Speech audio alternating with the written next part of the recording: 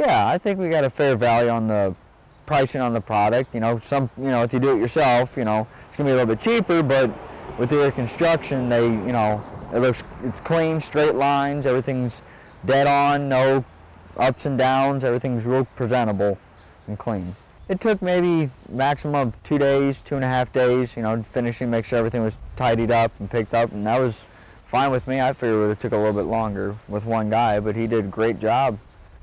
Um, the siding made the appearance of the windows pop out and the stonework pop out on the house.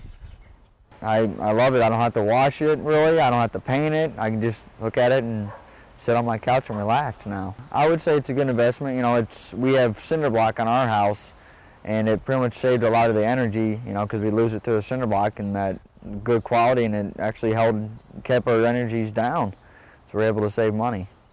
Um, yeah, I would buy, you know, buy through Erie Construction again, you know, and part of the reason why people do is because of the quality of the work and the quality of the product is why people come back.